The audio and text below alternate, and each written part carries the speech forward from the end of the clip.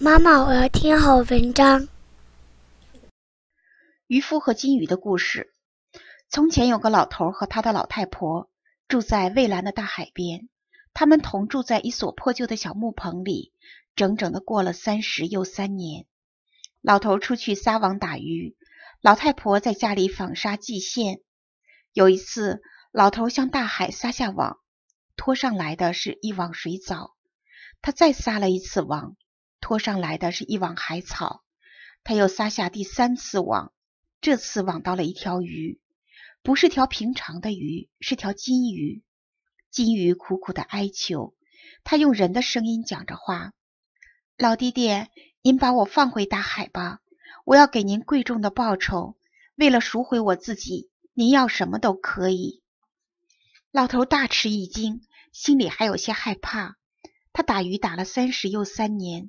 从没有听说鱼会讲话，他放了那条金鱼，还对他讲了几句亲切的话。上帝保佑你，金鱼，我不要你的报酬，到蔚蓝的大海里去吧，在那儿自由自在的漫游。老头回到老太婆那儿去，向她讲起这件天大的怪事情。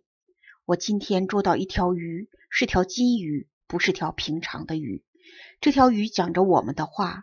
请求我把他放回蔚蓝的大海，他要拿贵重的代价来赎回他的身子。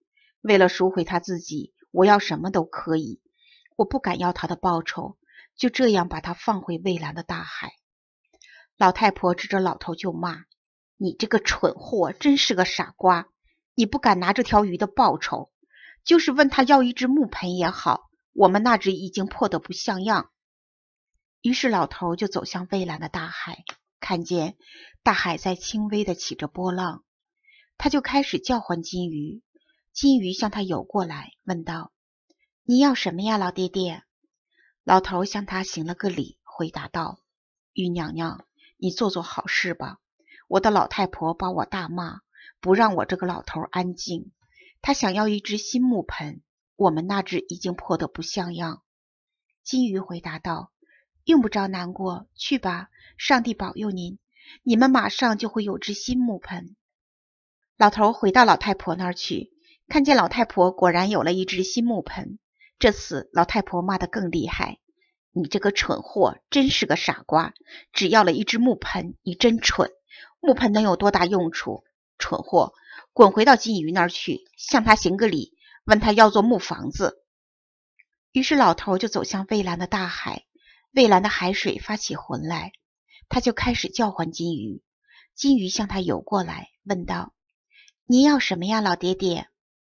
老头向他行了个礼，回答道：“鱼娘娘，你做做好事吧。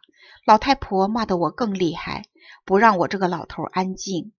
爱吵闹的婆娘想要做木房子。”金鱼回答道：“用不着难过，去吧，上帝保佑您。”就这样吧，你们准会有座木房子。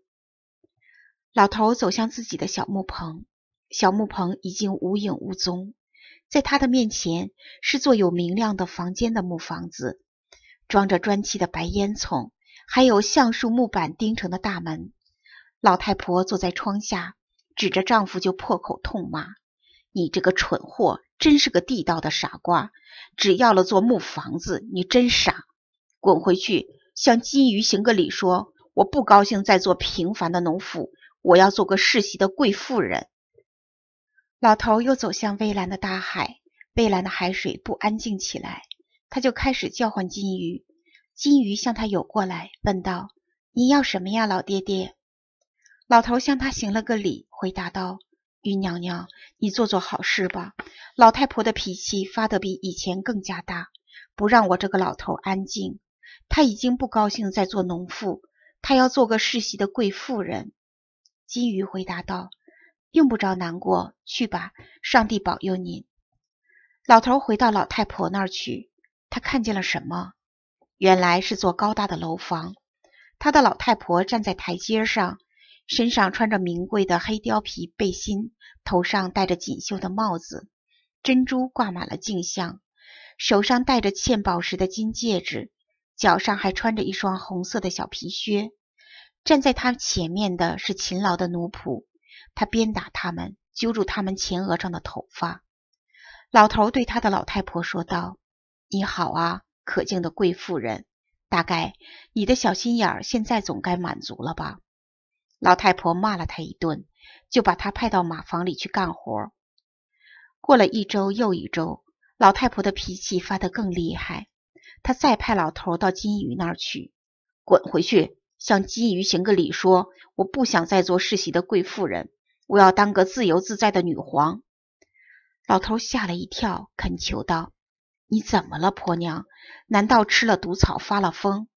走路说话你都不会，你要惹得全国上下哈哈大笑。”老太婆气得怒火冲天，就打了老头一个耳光：“徒劳！你胆敢和我和我这个世袭的贵妇人顶嘴，滚到海边去！老实对你说，你不去也得压着你去。”老头跑向大海。蔚蓝的海水变得阴暗起来，他就开始叫唤金鱼。金鱼向他游过来，问道：“你要什么呀，老爹爹？”老头向他行了个礼，回答道：“于娘娘，你做做好事吧。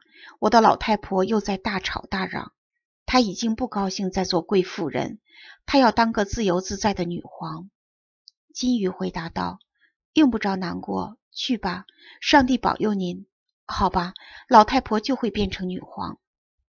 老头回到老太婆那儿去，怎么回事？在他的面前是皇家的宫殿，他看见他的老太婆在宝殿里面，她当了女皇，坐在桌旁，侍奉她的都是大臣和贵族，给她斟满外国来的美酒。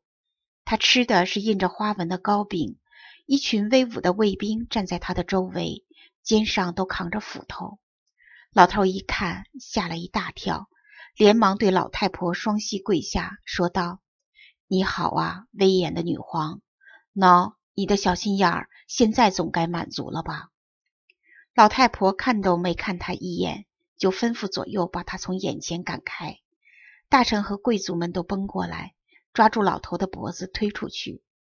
到了大门口，卫兵们又赶过来，差点用斧头把他砍死。人们都在嘲笑他，老糊涂真活该。对于你，糊涂虫，今后要记住这个好教训。一个人应该安守本分。过了一周又一周，老太婆的脾气发得更厉害。她派了朝臣去找她的丈夫，他们找到老头，带到他的面前来。老太婆对老头说：“滚回去，向金鱼行个礼，说我不高兴再当自由自在的女皇，我要当海上的女霸王。”这样，我就可以生活在大海洋上，让金鱼来侍奉我，还要它供我使唤。老头不敢违抗，也不敢说什么话来阻挡，于是他就走向蔚蓝的大海，看见海面上起了黑色的大风浪，激怒的波涛翻动起来，在奔腾，在狂吼。他就开始叫唤金鱼，金鱼向他游过来，问道。你要什么呀，老爹爹？老头向他行了个礼，回答道：“鱼娘娘，你做做好事吧。我怎样才能对付我那个该死的婆娘？她已经不高兴再当女皇，她要当海上的女霸王。这样，她可以生活在大海洋上，要你亲自去侍奉她，还要供她使唤。”金鱼什么话都没有讲，只用尾巴在水里一划。就游进了深深的大海。老头长久地站在海边等候回音，没有等到，就走回到老太婆那儿去。一看，在他的面前仍旧是那座小木棚，他的老太婆正坐在门槛上，摆在他面前的还是那只破木盆。